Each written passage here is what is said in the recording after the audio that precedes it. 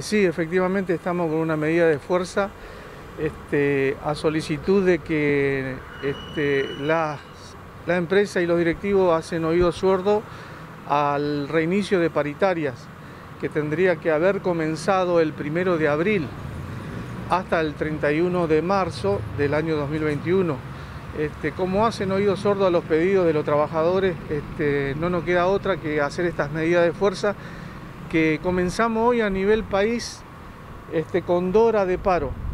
Este, en este caso, acá en la sucursal corriente, vamos a hacer de 7.30 a 10 horas por el turno de la mañana y en el turno de la tarde de 16 a 18.30 va a ser el paro.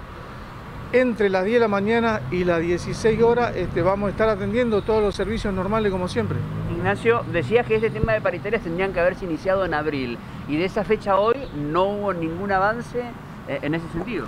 En ese sentido no hubo ningún avance, hemos presentado varias notas a los directivos de correo, nunca este, nos llamaron a sentarnos a discutir el tema salarial de los afiliados, de los empleados de correo, entonces nos lleva este, lamentablemente a tener que hacer un paro en el día de la fecha. ¿Afecta a los servicios o, a partir de las 10 de la mañana todos los servicios que habitualmente entrega el correo se pueden realizar? Este, vamos a estar trabajando normal como siempre a partir de las 10 de la mañana hasta las 16 horas.